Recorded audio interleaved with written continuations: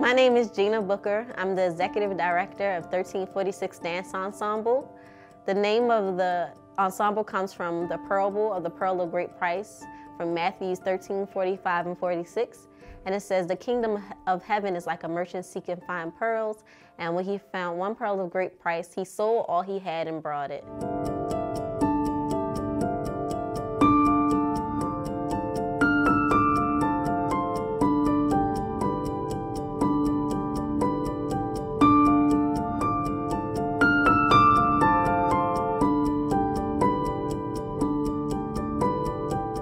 Um, my name is Sheltice Woodford. I am um, a three-year so far and running member of 1346, and um, um, I've actually known Gina for a very long time since she was about 14 years old. She actually was a model that I used to coach, and now the student has become the teacher.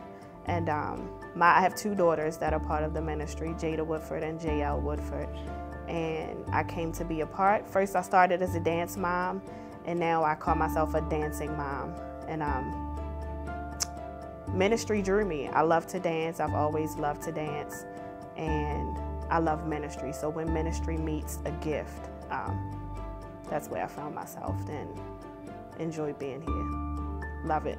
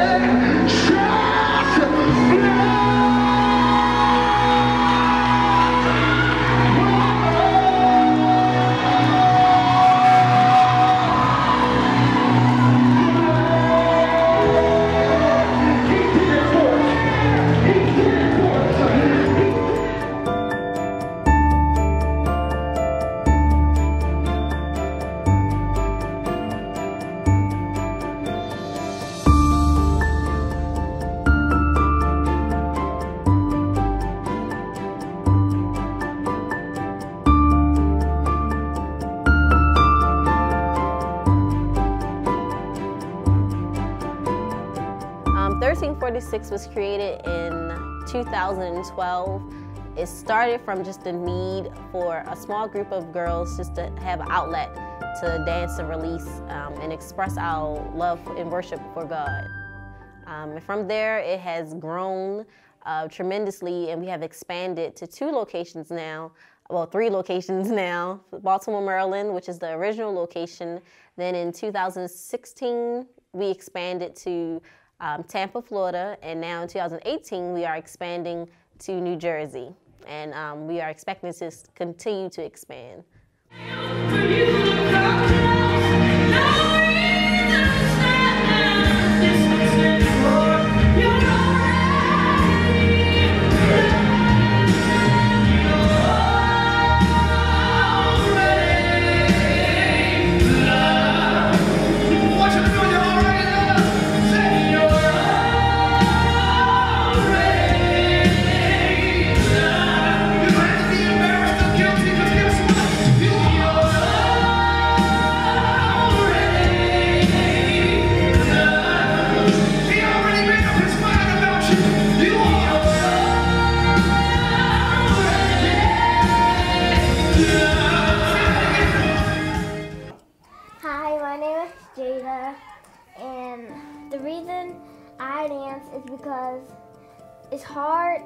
Explain myself usually, and dance just helps me.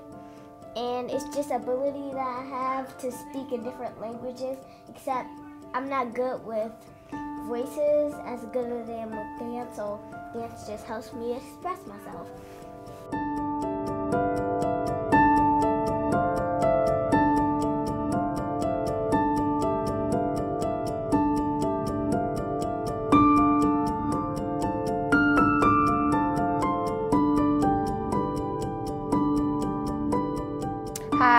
Chanel Fleet. I started dancing when I was six years old at my church. I love to dance. Um, it's my passion. I love dancing for Christ. Um, I started watching 1346 dance videos on YouTube and I was like, I have to be a part. Their mission, their objective and vision is so great and I just love being a part of it. They have brought me to a different place in my worship and my ministry. And yeah, I just love 1346.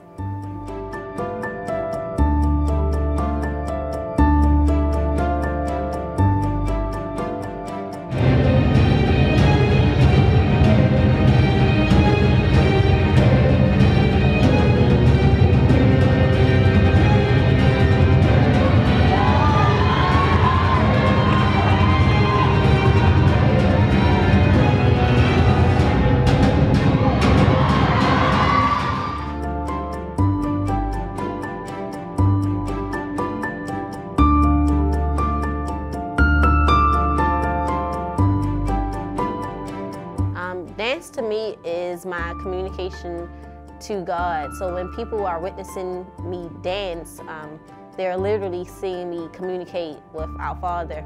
Uh, I use dance and worship just, just to express to Him how much I appreciate Him and love Him. Um, it's definitely a, a gift He has given me, and I decided and chose that with this gift, I will use it only for His glory and to minister to His people and bring people to His kingdom. And. Um, my childhood was, was I would say, um, somewhat rough, but um, even as a child, I knew God had His hand on my life. I grew up in a household with a, I call my parents um, two different worlds. My father was a practicing Muslim, and my mother was a somewhat backslidden Baptist, and um, I was somewhere in the middle. Um, didn't really get raised in church, but God saw fit to bring people in my life that drew me to Him, and um, struggled with a lot of things coming up. Um, I was a so-called wayward teenager, but again, God had His hand on my life, and so He brought people into my life who ministered to me, who um, kind of invited me to know Christ, and um, it just drew me in. The love is what drew me in. Um, not that I didn't get the love at home from my parents, but being in a household that was divided, um, it was a different kind of love. But when I got to know the love of Christ and the people that God used to show me the love of Christ, that's what drew me to Him. And dance has always been a part of my life, um, even from a child. Um, all styles of dancing, hip hop, um, jazz, modern. Never got too much ballet, but um, just love to dance. And so, again, when um, ministry meets the gift and what God has naturally given me to do, um, I felt drawn to it. And that's my story. It's not really exciting, but ministry is what I do and dance is what I love. Washed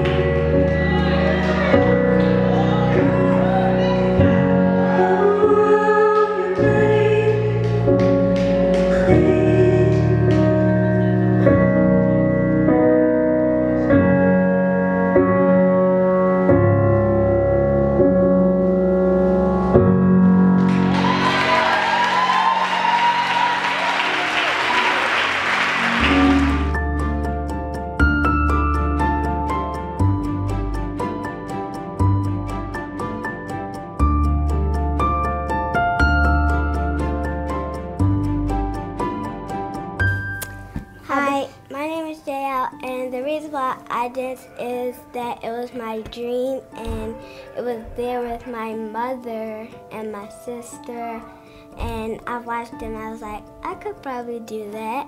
And how I got to this dance ensemble is when the church they used to practice at I was sitting down in the at the altar and my mom said that JL could probably join and I said, no, I don't want to. And then Gina said, come on, it's, it's just dance.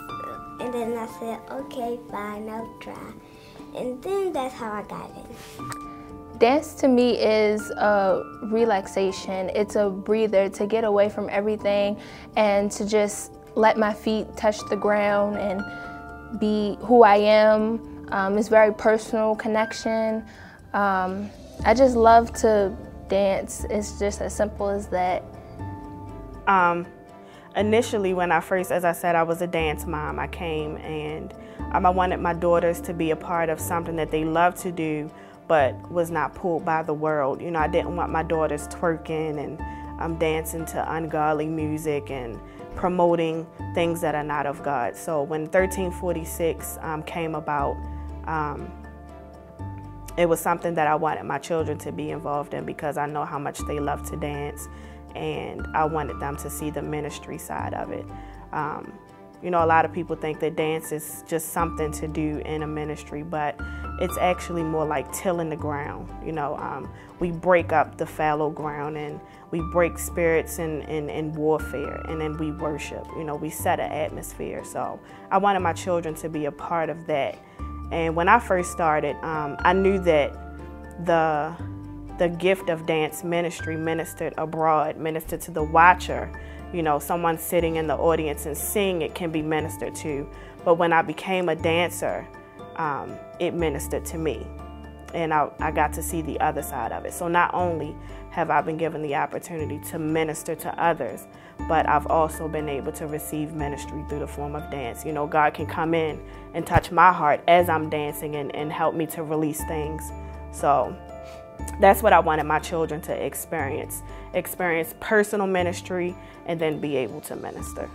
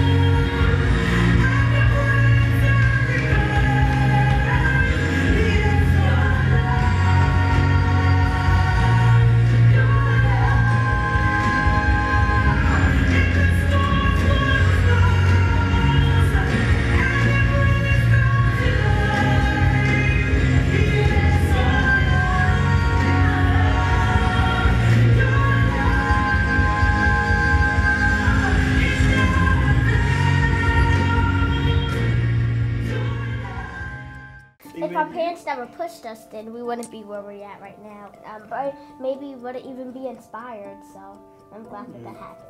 And it was probably God's plan to get us together. Um, I grew up in Baltimore City. Um, I've always been into the arts, and so that my whole entire life I've been into the arts. I'm also a visual artist besides being a dance minister. Uh, so I've always been into the arts. So me going to art school, Twigs, and then to the Baltimore School for the Arts, it definitely kept me out of trouble and focused on the arts. Um, and as I became an adult, I've learned to use the arts in ministry, you know, in order to glorify God. I grew up in West Baltimore, inner city, um, not, uh, I, would think like maybe mid to low class, um, urban community. Um, there wasn't a lot of um, outlets for children at my age, and unfortunately, it's gotten a lot worse.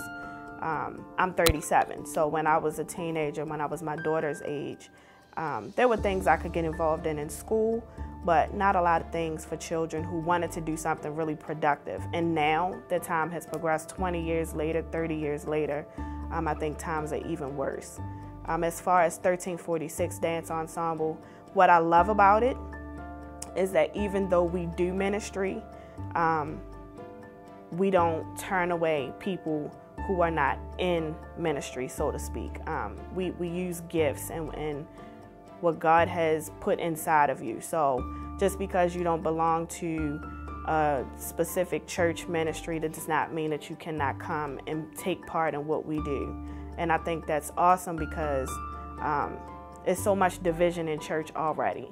And we are a group that will accept anybody from anywhere as long as you're being used of God and called to serve the purpose of ministering and dance. And I think it's important for communities to have things like this to keep young girls, um, even young men, doing something productive and learning how to use the gifts that God has given them to filter out into the community. Of course, to win souls for the kingdom. That is the purpose. 1346 Dance Ensemble has definitely um, is a gift that God has blessed me with, and it keeps me humble because I see all of the people that are connected to it and how it has blessed their life. Um, it's overwhelming at times just to sit back and see all the different connections that has expanded be beyond Baltimore. And I get um, emails and messages all the time from people in other states talking about how just a simple video, YouTube video, has helped them, has healed them emotionally, or uh, gave them hope just to fight one more day.